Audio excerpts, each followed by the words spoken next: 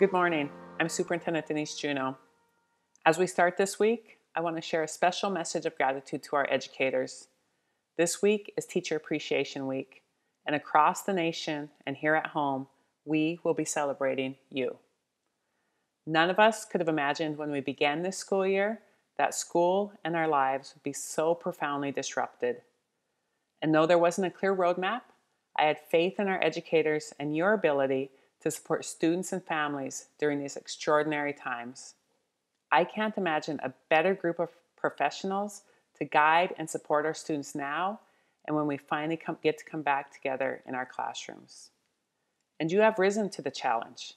You have continued to put our students first to give them hope, connection, love, and the academic supports they need to follow their dreams. You are doing whatever it takes to ensure that every child achieves their full potential in any learning environment.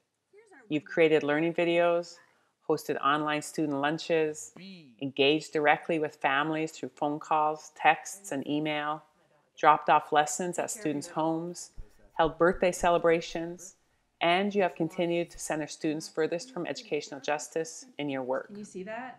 You are a lifeline for so many students and families right now, and I'm deeply grateful for that.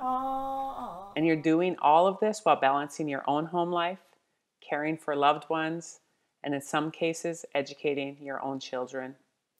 You have shared how you are missing your classroom, your students, your colleagues, and important school related events.